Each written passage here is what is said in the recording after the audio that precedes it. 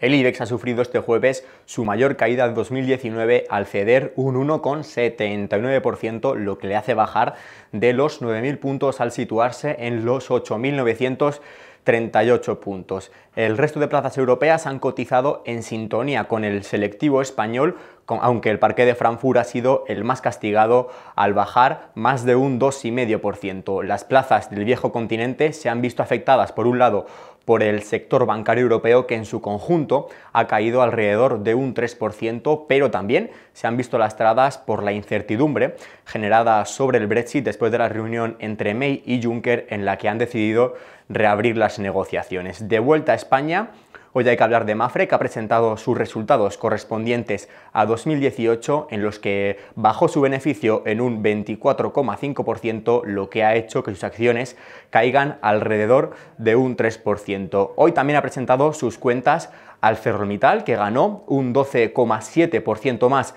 en 2018, pero que tuvo un mal cuarto trimestre del último año, del pasado año, lo que le ha hecho caer en bolsa más de un 4%, un 4,6% exactamente. Aún así, el valor más castigado del selectivo español ha sido Melia, que ha caído un 6,27% por las dudas sobre su negocio en Cuba. Fuera de España hay que hablar de Twitter, que hoy cae más de un 11% en Wall Street al cierre del mercado español después de presentar sus resultados y anunciar que seguía los pasos de Apple y que iba a dejar de publicar los usuarios activos que tenía mensualmente. Por último, ya hablamos del mercado de materias primas, donde el barril de crudo Brent cae por debajo del 2% hasta los 61 dólares, mientras que en el mercado de divisas el euro mantiene el cambio en un dólar con 13 centavos. Pueden seguir informados en bolsamanía.com.